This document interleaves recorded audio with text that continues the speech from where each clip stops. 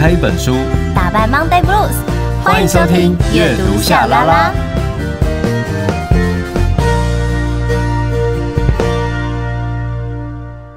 欢迎收听阅读夏拉拉，我是夏雨桐。我是陈夏明，我们有 IG 粉专跟 YouTube 频道，记得搜寻阅读夏拉拉，追踪订阅，设定抢先看。本集内容：白天上班，晚上卖春，在家养鳄鱼，不行吗？夏啦啦，夏啦啦，夏啦啦。Oh, reading，Ready go！夏啦啦，夏啦啦，夏啦啦，Reading Reading。夏啦啦，夏啦啦，夏啦啦，夏啦啦夏啦啦，夏啦啦，夏啦啦，夏啦啦。reading，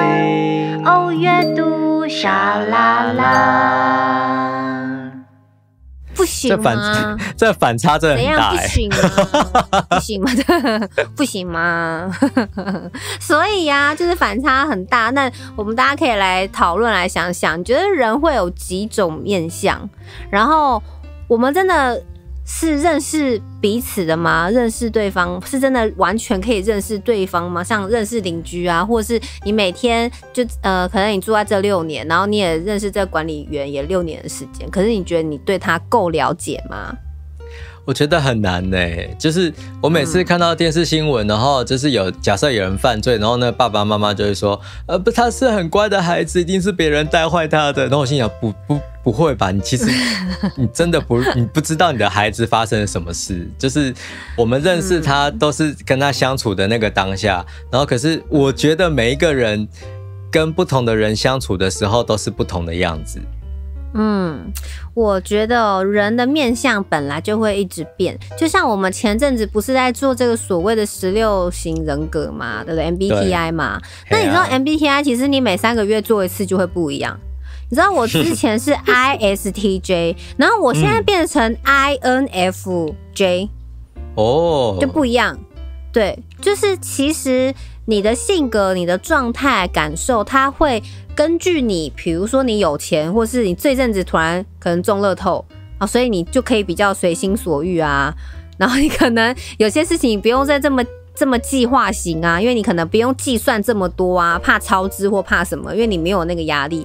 又或者是你最近有一个什么很大的转变，例如你可能搬家，或是你因为什么原因搬家，所以某一些的选择跟感受会不同，那你就会改变。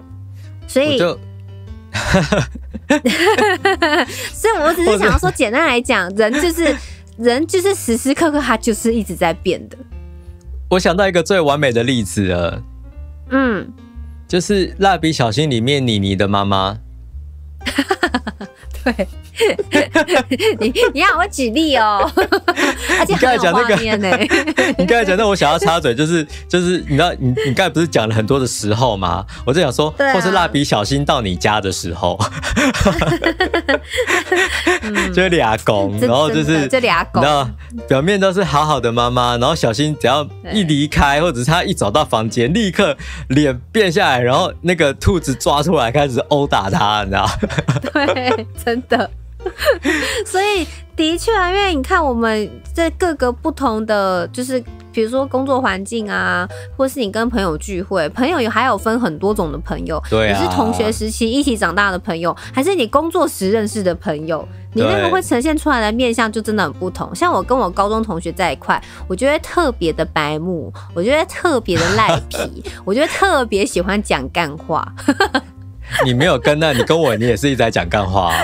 那就是因为因为我是你，你就是我们是彼此的零点七手美啊，所以没有办法、好好好对就是越越是 close，就是你越是要讲干话，这是我的人生准则。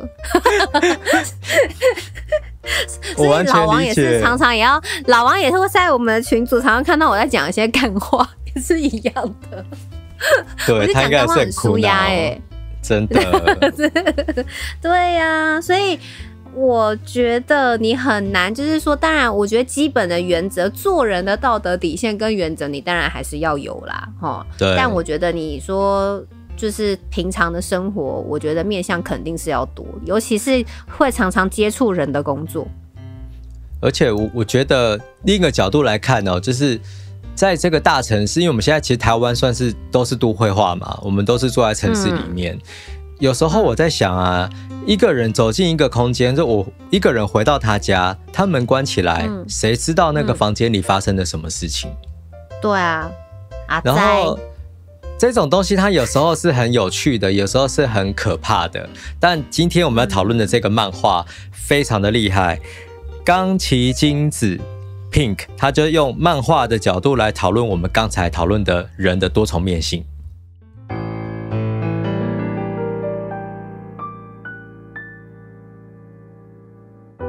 如果有一天地球冰河期，请不要害怕，书会救你，书会在火焰中温暖你。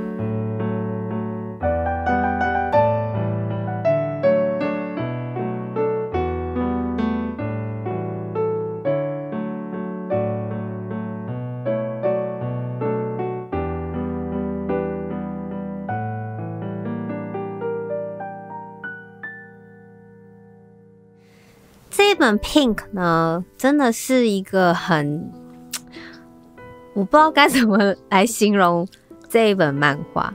可是我要说，这漫画的主人翁这个主角，哦，我觉得是一个非常有魅力的角色，超级、是对，很很很有魅力。那会叫 Pink，就是因为这个主角 OL 他叫由美哦，然后呢，他就喜欢粉红色。对，然后我觉得我某个程度，我觉得我有一点看到自己耶，我觉得这是最可怕，不是不是晚上变应招女郎的部分哦，是 养鳄鱼的部我是要说 对，不是是那个他喜欢粉红色这件事，对，跟有时候想要一个东西，然后会迫切的渴望。可是我后来觉得，就是从透过看这个漫画，我觉得可以理解，突然明白说为什么那个渴望的那个一定要立刻想要买，就是想要开蕊，然后想要拿到的那个感受。我觉得有时候它会跟你的压力，或是你身处的，就是你现在处在什么样的状态会有关系。对，就是你如果很稳定的时候，其实你不会特。其实像我就觉得、啊，如果我很稳定，就是心情就是上，如果都很 OK，哦，其实好像就不会有什么特别想要的东西。真的，你说中了，爱，对对对，就就你你就是会这样。可是当你对自己特别没有自信的时候，你就会特别想要去哦弄指甲啊，弄一下头发啊，然后就觉得我是要买个新的彩妆哦，这脸这样我是要要怎么样可以让自己就是再好一点，再怎么样一点，然后或者是让自己更开心。我有了这个东西，我就会变得不一样。其实寻求追求是渴望自己不同。你讲到重点，得我就是我最近真的就是这样哎、吗我所以我不你最近就很认真去那个，你说健身做指甲，是不是没有？不是我要看。如果你做指甲了，我要看，我要我要去，我要去现场帮你拍摄记录，我要拍成 reels。就是你刚才讲到重点了，因为假设我们的精神状况是比较稳定的时候，其实我根本就不需要去买东西。然后我前阵子我、啊我就是得到这个领悟，因为我就很不安，我不知道为什么。然后你知道，就是会一直想要乱买东西耶，嗯，然，后反而而且有时候压力越大，越是想要买，越想买。对，然后嗯。你刚才这样聊，我就在想，的确，我可能是透过买东西这件事情，把它当做是一种采取行动，嗯，就是我好像是有在选择的，我好像有在做事情的，我不是嗯。那个很废的状态，但实际上我只是逃避而已。嗯，但是我们今天要聊的这个漫画，它又有点不太像这个状态，但是我觉得它它很迷人啦，就是我对我们的标题不是 白天上班，晚上卖春，在家养鳄鱼，不行吗？就是这个女主角啊，她叫由美，然后她真的是白天她就是会计。哦，她就是公司的会计，她晚上就是应招女郎，然后她的爸爸很有钱，所以他小时候他就要他爸爸说：“爸，你买一只鳄鱼给我。”他爸真的就买一只鳄鱼给他，所以他就在一个公寓里面就养了鳄鱼。那有钱的人为什么要住在公寓？因为他的爸爸跟他的后母在一起，好像他的妈妈就自杀了嘛，好，然后就是就是反正他爸爸就跟后母在一起，然后他们又生了一个孩子叫做惠子，然后这他就有一个妹妹，然后反正呢就是由美她就是不知不觉就发现到说，哎，我的后母有一个小三，哎，这个叫小三吗？是叫小小王王？好好小王，对，好，然后就叫有一个小王，而且是他妹妹告诉他说，哎，你知道我妈。有小王吗？这样子，然后他妹妹是很、嗯也是很奇妙的角色，我也很喜欢。总之呢，他有一天就不小心跟踪到，然后就发现到，哎，这个小王哦，原来是你哦，然后他就跟他认识，然后再来就是他跟小王以及他的妹妹以及他的后母之间的产生了一大堆的连环在一起的关系，就很复杂，然后嗯，基本上就是很疯狂的一个一集结束的漫画，对，很疯狂。然后，反正呢，我还是要讲，就是这个由美呢就很美。我觉得她的美是因为还有对这个世界的疏离感。虽然她嗯晚上当应招女郎，可是她的心态会让你觉得她很独一无二，她很特别。对，就是因为她对人跟看待爱情或是亲情，就是我觉得，就是她都会有一种疏离感。可是我觉得这个跟她的成长背景有关系。然后我觉得再来就是她的那个鳄鱼，家里的鳄鱼，就你就会觉得怎么可能？但他真的养了个鳄鱼，然后这鳄鱼呢，明明很可怕，可是有时候你又会觉得它很可爱。对，就是你，你真的有时候你会觉得很可怕，而且我觉得他的那个妹妹很好笑，他就来他姐姐家，因为他他的这个同父异母的妹妹其实跟女主角由美感情很好，然后他就来他家，然后他就拿了一个袋子，他就说来，这是刚刚怎么家里附近一直很爱废我的红贵宾，然后就把它拿来喂鳄鱼。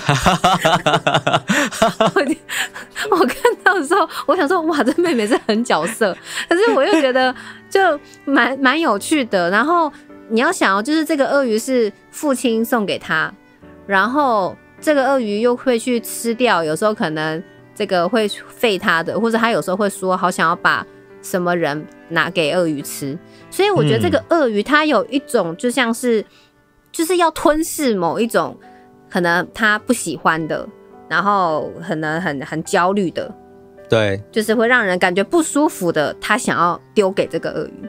对哦，就有一点这种，有一点这种感觉，对对对对对。然后你看，然后它这个鳄鱼，它是有一点危险的存在，但这个鳄鱼又跟它共处在这个公寓当中，这是一种你会觉得这个女生有一点危险。这个女主角她有魅力的地方，就是你觉得她疯疯的，因为她有一点疏离感，又养了一只。鳄鱼，你会觉得这个女生就带了一个谜样的感觉，但是又很危险，秀出那种危险气息。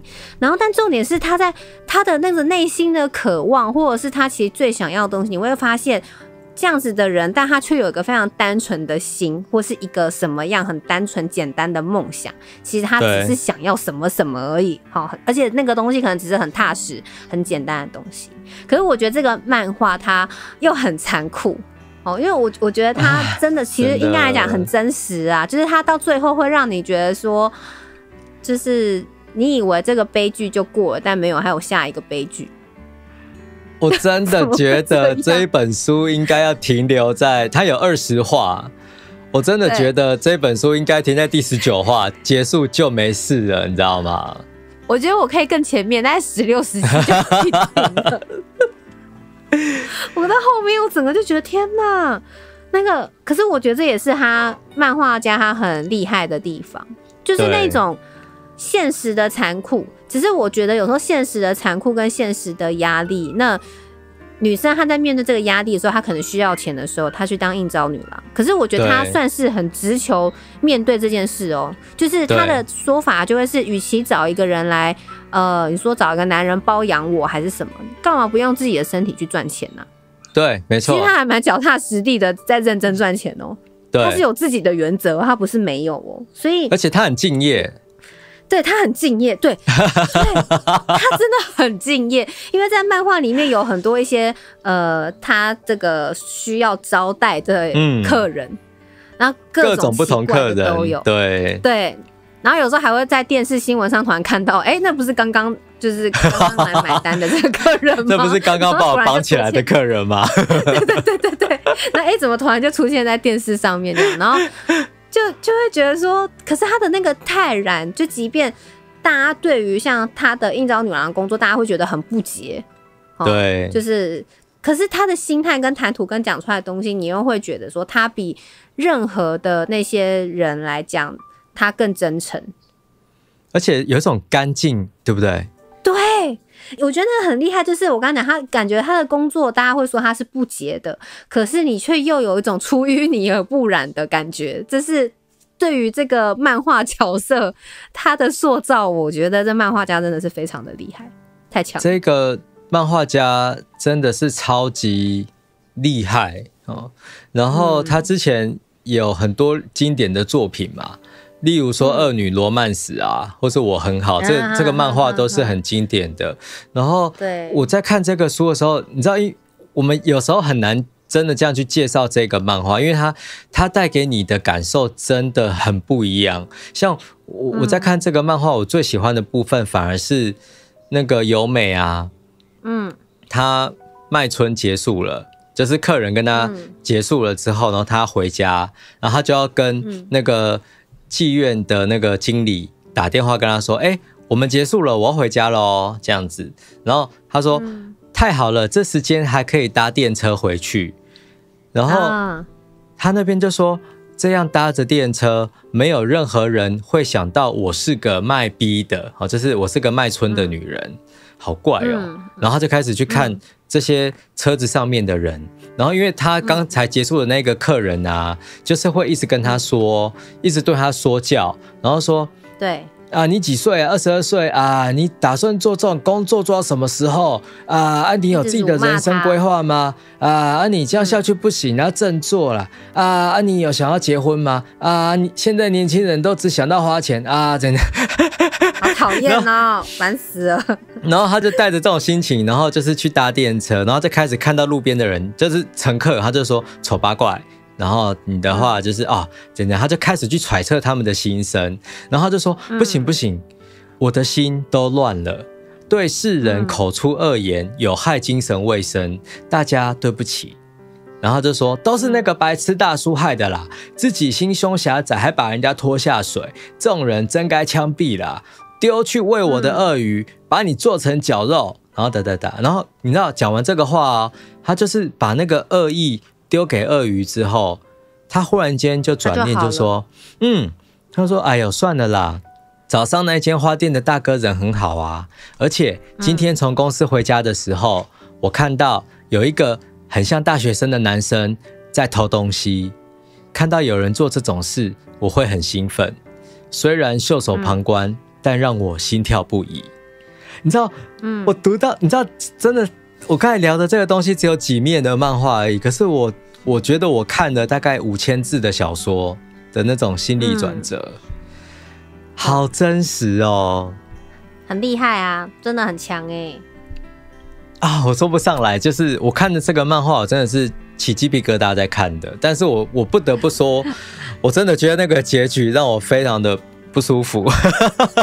对，但是我还是很想要推荐大家，就是可以买，虽然现在就是还可以电子阅读嘛，但我还是觉得就是可以买，就是实体的回家，因为它里头很可爱，有一张那个 pink 的书签，然后上面有画鳄鱼，我很喜欢鳄鱼真的很可欸。爱，对，鳄鱼很可爱，我都想养了。最好鳄鱼这么可爱，我的天哪！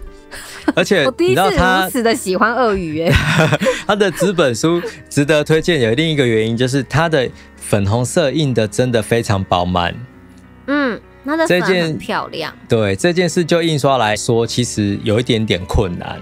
因为我我今天才去印刷厂回来，我去印那个朱家安的那个电玩哲学，我们为了那个橘色，就是要调到也是满版的橘，就是有点辛苦，所以我后来回来看到他的这个书里面的粉红色的部分，我就觉得哇，真的很精致，所以很值得收纸本书。对哦，总之推荐给大家，我觉得就是也是读的蛮娱乐性真的是很有，但是我觉得它这个整个剧情、整个故事的内容，却是会让人会要去琢磨很多，要去想很多东西，真的蛮好看的。如果你真的很期待可以在一本漫画里面得到绝对文学的感受，请绝对不要错过《Pink》这一部漫画。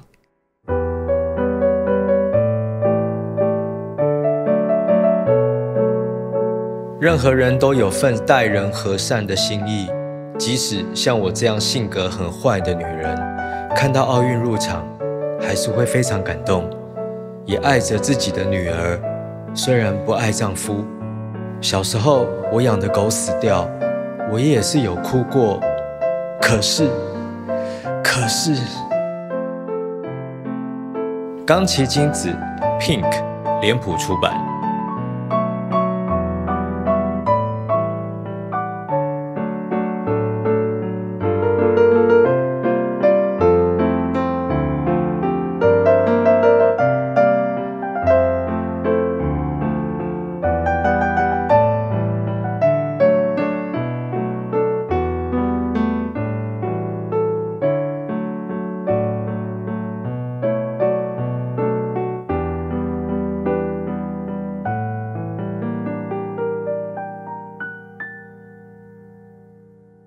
你现在收听的是阅读夏拉拉，每周一早上八点定时更新，我们会陪你一起阅读，打败 Monday Blues。大家最近有看一些什么样的漫画，然后也让你觉得哇，就是超级好看，然后一定要推荐给大家的，欢迎大家可以到我们阅读虾的 IG 还有粉砖留言哦。对啊，听完这一期，如果还有其他的建议。或者是你纯粹想要跟我们说 hello 的话，一定要留言哦，好不好？我们非常期待跟你们互动，OK？是的，感谢大家收听阅读下啦，我们下周见哦，拜拜，拜拜。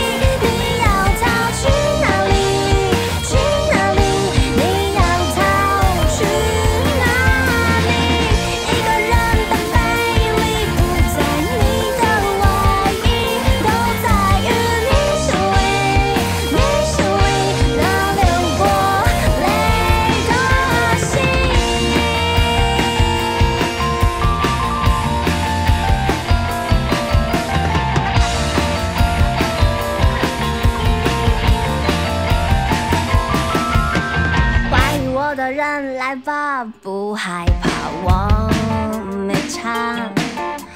梦想飞走，心被伤透，又怎样？说吧。